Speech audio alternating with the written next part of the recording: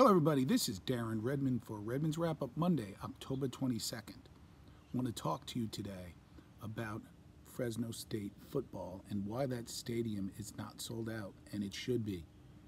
We're not looking to point fingers, and everybody's going to want to get up in arms and defend this or defend that. I've been involved in sports as a player in college, as a coach in college, for quite a bit of time, covering sports and for being a season ticket holder in both the pro and collegiate level. There's a lot of variables, and there's a lot of excuses people are going to give you. And some of them have merit, but most of them do not. I want to factor in three or four things that I see as the major variables as to why that stadium is not sold out, and it should be. Fresno State 6 and 1 plays Hawaii this week for the homecoming.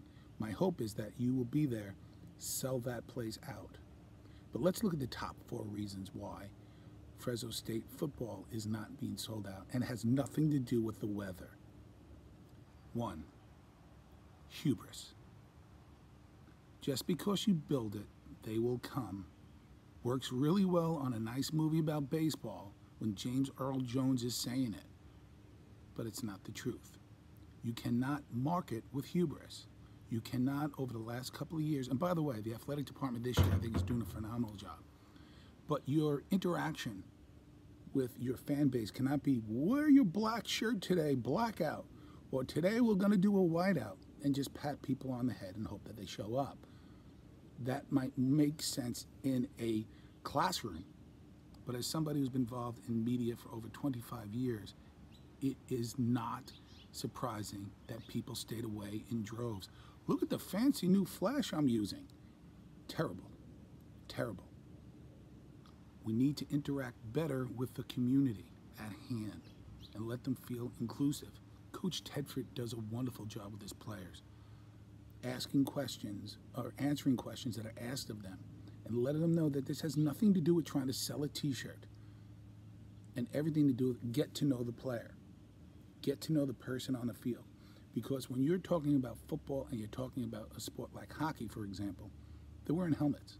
Get to see these people, get to understand who they are, get the background of these people.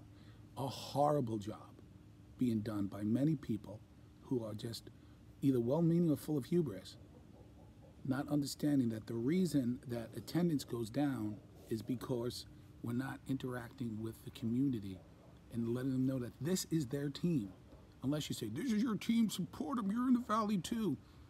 And talk to them like, like a petulant child is being uh, admonished. Shameful.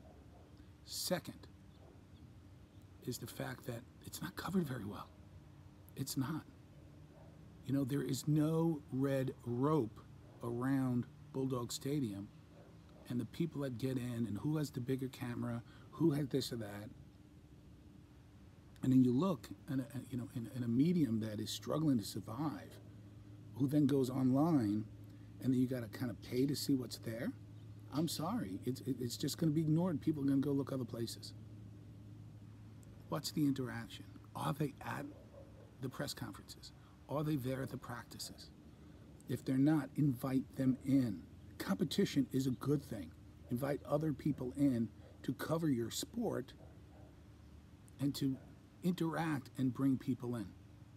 The old boy network should be dead and buried because all the old boy network is getting is more and more seats that are empty. Third, cost. Parking has been uh, improved recently in a couple of years at Bulldog Stadium. Used to have a $99 plan to fill up those end zone seats. People loved it but it's kind of pricey right now. And what is the ROI? Are you not making money? Because again, long-term goals beat short. I feel like I'm at Shea Stadium with the airplanes. Eh, long-term goals beat short-term gains. So if you're going to ask for a premium price or somewhat of a premium price, what are you basing it on? A profit margin of if we get 33,000 people in here? Or how about making it a little less, giving somebody incentive, and um, you know maybe giving them a, a, price off of parking or whatever. Fill a place up, full throated, so it becomes really the 12th man. You know, Coach Tedford, again, I'm a huge fan of. He does things right. You know, he said something uh, a couple of weeks ago during a press conference, and we covered it. We can show the video. That they asked, they wanted people to say, "Hey, the crowd was great." He said, "No, I heard louder. You know, I've heard this place louder. Well, let's make it louder. This coming, uh, you know, Saturday against Hawaii." And the last reason, and uh, we at FHT Sports have interviewed well over 100 people uh, of different demographic backgrounds as to why they're not going to the games. And you might not get this from, um, you know, the, the traditional uh, media or from the friends of the friends who, you know, uh, occupy certain areas. They're disappointed. They're disappointed. Anytime, anywhere meant occasionally try to win or win. But every time we played Hawaii, we lost. Most of the time, up until recently, against Boise, we lost. People are still stung from a couple of years ago. All we needed to do was beat San Jose on the road, and we would have had a major bowl game. And instead, we just laid a big egg. And people are just tired of being disappointed by this team. Now, you could say, well, you can't hold last year against this year, and look what they're doing this year. It takes time. You have to invite them back. But again, what is your social media interaction that doesn't have a price tag of buy another T-shirt on it? This team is a really good team. This team should have been a top 25 team this week in the polls. Explain the polls. Explain how you know decisions are made. Explain that right now they really only have three bowls that they could possibly go to. And that's not a bad thing. But every year it's going to be Hawaii or it's going to be up in Boise or maybe Vegas, rah rah. We're bowl eligible. We won six. You have an intelligent marketplace here. Don't treat it like it's dumb. They understand the NCAA. They understand the Mountain West. They understand the teams that used to be in the Mountain West are no longer in the Mountain West. Treat the fans with a little more respect. Tedford is doing a great job with that. You're six and one. This is a great season. Could have been seven and zero. Oh. But a lot of people feel disappointed from a couple of years ago that we had a chance to go to a major bowl game, and once again we're let down, like we were let down when Hawaii came in a couple of years ago as well. Fell short. You know, anybody can go anywhere, collect the money, and take a beating. This team has a wonderful future ahead of it with Tedford at, at, at the helm.